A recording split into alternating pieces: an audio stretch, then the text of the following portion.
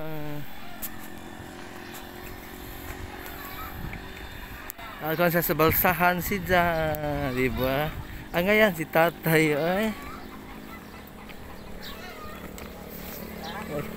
Tata. Balsahan. Sige padayon. ah. Ito kabaw si tatay. Hmm.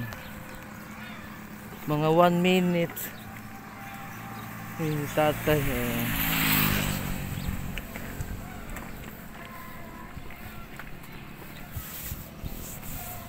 At uli na sa silang balay.